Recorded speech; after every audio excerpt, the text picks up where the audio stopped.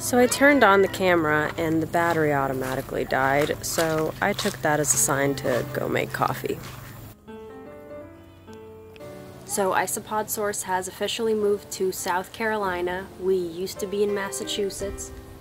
So I'm just going to show you guys where we're at now. We're finally out of a tiny boiler room where we could not control the temperature and we were living with my parents in their house and it was just not the greatest situation for Isopod Source as a whole. So I'm going to show you guys some of the things that we have around here other than isopods, only because you can only film isopods so much, man.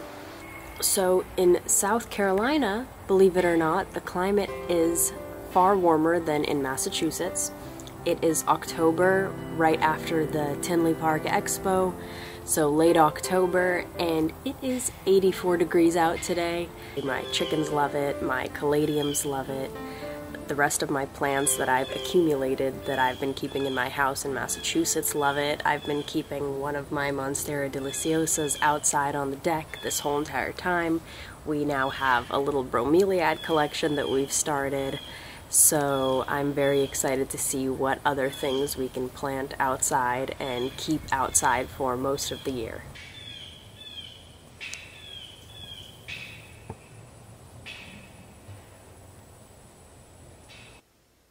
So it wouldn't be right to not show you guys the new isopod room. So I have two racks directly behind me that go all the way up from the floor to the ceiling. I have a whole entire room in front of me that extends out about 12 feet past where I'm sitting. We're able to keep all of our reptiles as well as all of the isopods, or at least most of the isopods in this room. Dwarf whites and things like that do not stay here because they take up too much residence. Today, I don't have anything picked out to talk about. I just showered, I made it here, I turned on the camera, I am here to talk about isopods we were just at the expo. I did get a couple species that I previously had, maybe lost in a crash or the move or other mysterious circumstances, so I was able to repurchase a bunch of species. Let's get into what I find interesting today. So the first species that I'm gonna pull out and I was just taking care of and putting away are Porcellio warneri these are the ultimate flat boys. They come to us from Greece and they are pretty reminiscent of some of our larger Porcellio species like the Hoffmannsegii and the Magnificus as well as Bolivari. They are a pleasure to watch grow and for some reason I've been doing really well with them lately.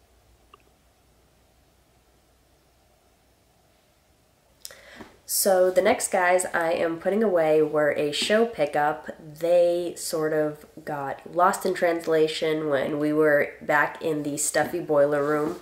And Porcellio are a species that I struggle with religiously ever since I started, especially most of the Spanish species other than Hoffmannsegii and Bolivari. So Porcellio magnificus. These guys get absolutely huge. These two I would say are subadults or juveniles. Let's see if I can get my gross pinky next to them. So that's more than a segment of my pinky.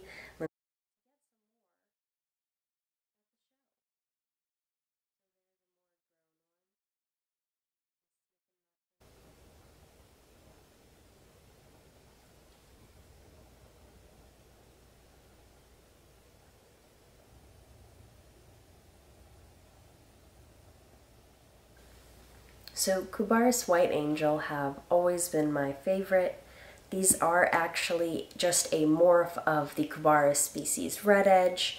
At first they were called White Angel, now it seems like people are mostly just calling them albino. They are the T-negative albino as they do have that extra white look to them whereas the T positive ones have a little bit more of a yellow sheen. Cubaris Shiro Utsuri. They are my absolute favorite. They're always moving.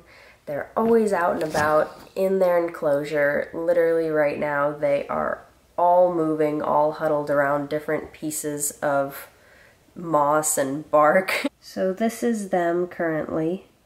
All they do is roam around and hang out by the food.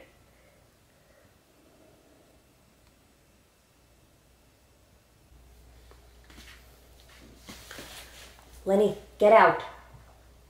So that's pretty much all I have for the isopods. I don't remember if I ever finished talking about how cool the Shiro Utsuri are, but if you liked any part of anything that you saw today, leave a comment what it was. I can do more of it.